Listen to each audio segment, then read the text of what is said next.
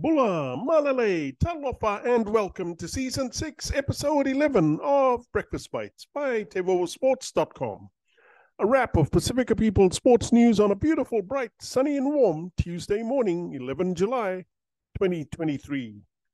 Coming to you with tons of hanisi from the 180th meridian in the middle of the Pacific Ocean.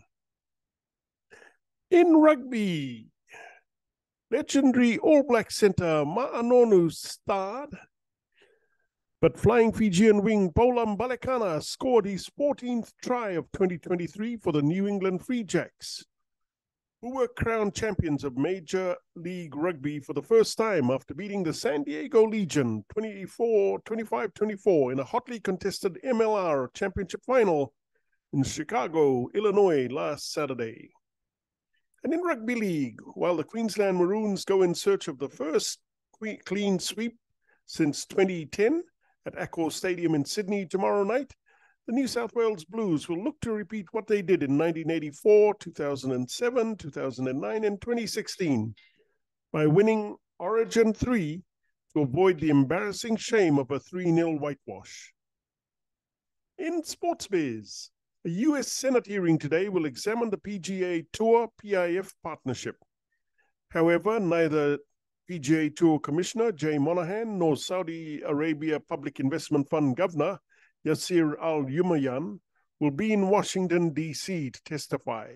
According to the New York Times, Monahan would have considered testifying if the Senate agreed to postpone the hearing, but the committee declined. In announcing his return, Monahan provided no more details on what initially caused him to step away on 13 June, only that his health had improved dramatically.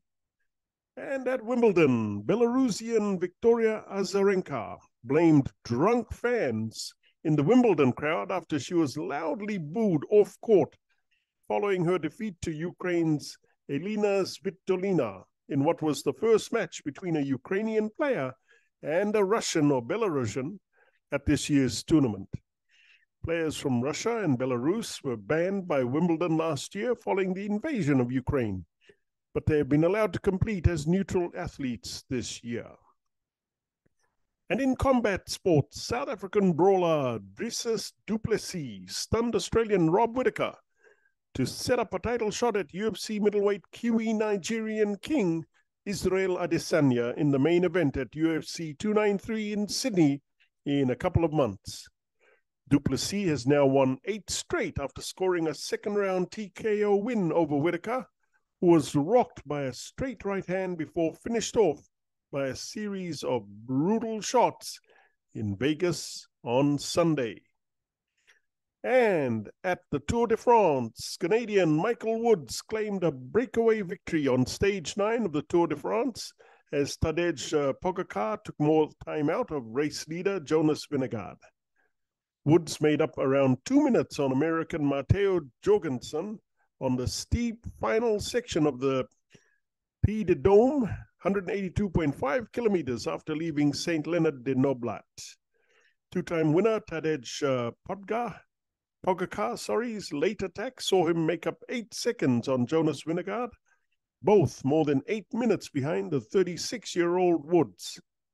The Slovenian now sits just 17 seconds behind his main rival for the coveted yellow jersey.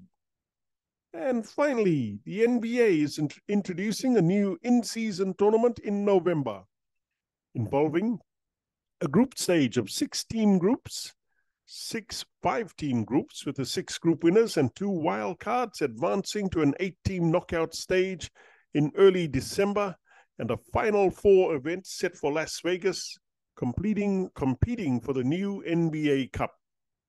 To spice it all up, players will uh, compete for a prize pool of US $18 million, with championship team players receiving US $500,000 each and payouts for players on teams losing in earlier rounds getting US 200,000, US 100,000 and US $50,000 respectively in cold hard cash to splash on the casinos. And that's a wrap.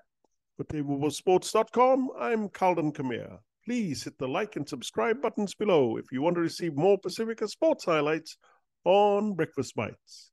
Mahalo, kakite, and thank you all too much for all your love and support.